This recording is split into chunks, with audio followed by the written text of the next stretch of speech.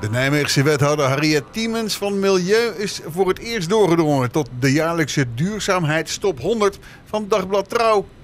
Tiemens kreeg zelfs een plek in de kopgroep. Ze is beland op plaats 5. Wat gaat dit Nijmegen opleveren? We hebben de daken van ons uh, gemeentehuis vergroend.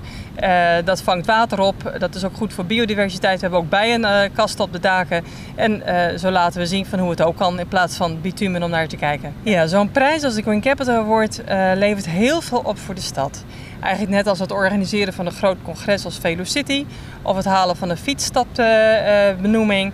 Uh, in ieder geval uh, merken we dat de mensen heel erg trots zijn dat wij dit als stad hebben binnengehaald. Over vijf onderwerpen gaan wij uh, vol op het orgel. Hè? Dus als het gaat over, over afval en over groen in de stad en over energietransitie en nou, zo nog meer onderwerpen.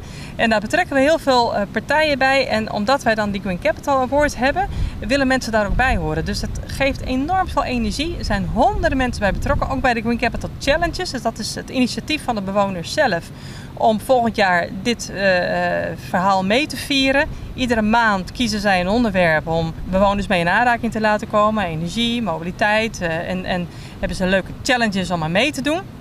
Nou, inmiddels zijn er honderden mensen bij betrokken. Dus enerzijds uh, is het een erkenning, we zijn een rolmodel. Anderzijds geeft het ons ook de gelegenheid om onze eigen doelstellingen weer verder te brengen, omdat iedereen erbij uh, bij betrokken is. En wij ook heel veel kennis naar ons toe halen en heel veel andere instanties naar ons toe halen die wij nodig hebben om onze doelen te bereiken.